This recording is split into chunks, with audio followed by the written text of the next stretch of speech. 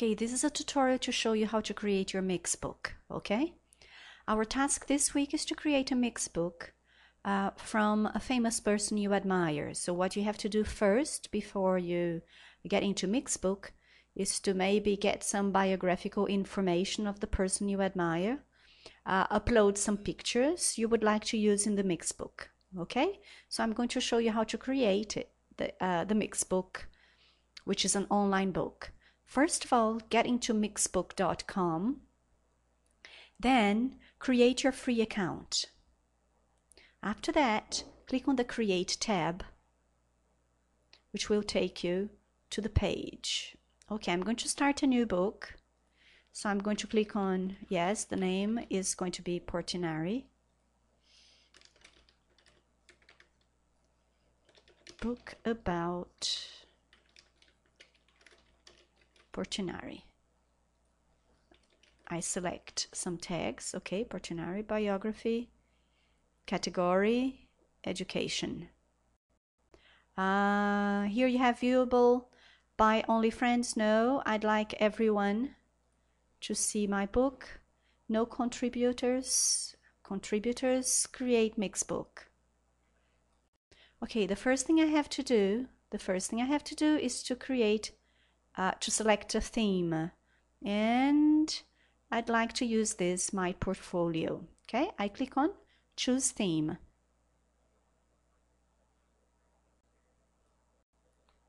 Alright now I have to select the photos I would like to use in the book. Okay so I'm going to upload them from my computer.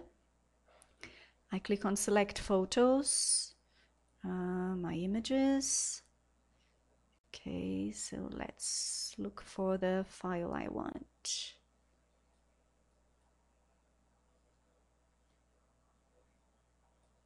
P-Porty, okay. So these are the pictures I would like to use in the book, so I'm going to select all of them and upload them to Mixbook. It's quite fast.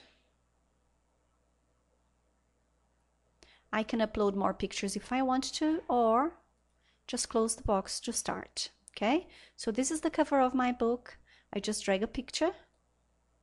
If it's too big I click on the picture to resize it and then I move it anywhere I want. I'm going to write a title here. So I select it and I write the name of the painter I'm going to talk about, Portinari. Okay, oops, sorry. Okay, now I'm going to click over here so that I write my name.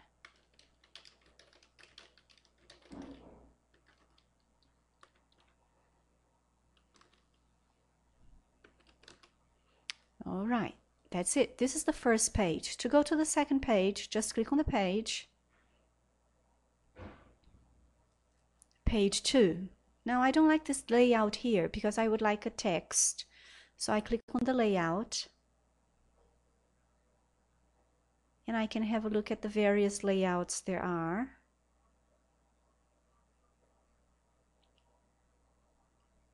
Yes, I would like this one with a picture and where I can insert a text, okay? So going back to the photos, I'm going to choose this photo again. And then I come to the information I want to copy and paste. So Control C, go back to Mixbook, click in the text, Control V. Now I can um, change the font, font size, font style, put bold, change the font color if I want to. All right, moving on to page three. So let's select another layout so you have an idea. Okay, this one. I'm going to choose a picture, this one, the text, and I'm going to copy and paste the second one. Control C,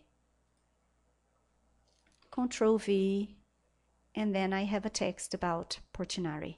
Now I can move on and select as many pages as I want to. You can preview by clicking here and once you like it, okay, let's preview.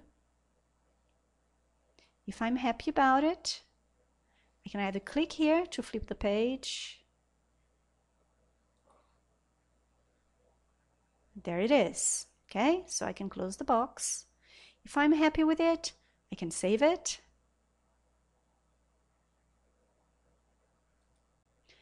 And then I can publish it. So I can order a copy, buy a printed copy, which should look really nice. But in our case, we're going to publish and share.